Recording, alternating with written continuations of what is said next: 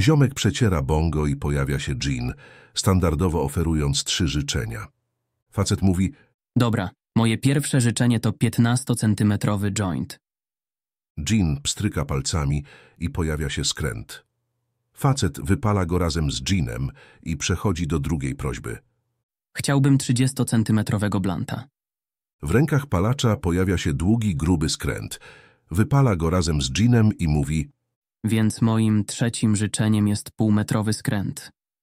Jean wyczarowuje największego jointa, jakiego facet kiedykolwiek widział i ponownie palą go razem.